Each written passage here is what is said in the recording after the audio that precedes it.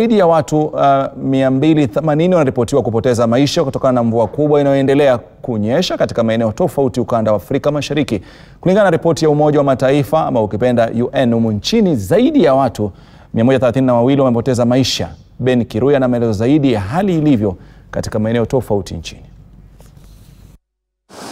Maelfu ya nyumba zinazidi kusombwa na maji, maafa ya mamia ya watu yakiripotiwa, na sasa hali ya tahadhari imetangazwa katika maeneo tofauti na sio humu nchini tu.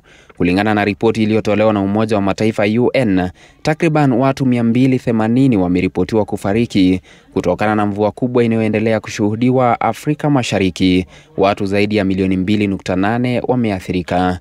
Kulingana na ripoti hiyo, taifa la Kenya ndilo limeathirika zaidi, watu zaidi ya 132 wakiripotiwa kupoteza maisha na maelfu kuathirika. Katika taifa jirani la Tanzania, watu 50 wameripotiwa kuaga dunia, wakiwemo watu kumi waliosombwa na maji.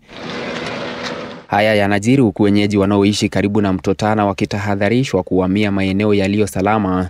Maji katika mto huo yanaripotiwa kupanda hadi viwango vya kuogofya. Zaidi ya familia elfu moja kutoka maeneo ya Bulapunda, Bula Iftin, Boralgi, Bula Sheikh na Windsor zimeathirika na mafuriko. Familia hizo zimepata afueni baada ya shirika la Msalaba Mwekundu kupeleka msaada katika kambi zao.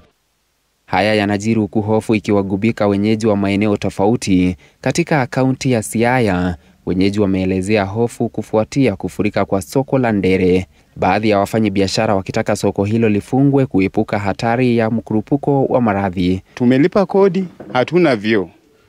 Umeona vile maji ikijaa soko, hakuna mahali pa kutandika vitu. Katika eneo la Gashuha, kaunti ya Nyandarua, zaidi ya familia nane zimeachwa bila makao baada ya mto Turasha kufurika. Wakazi wanaoishi karibu na mto huo waliamshwa na mafuriko baada ya mvua kubwa kushuhudiwa siku ya Jumatano.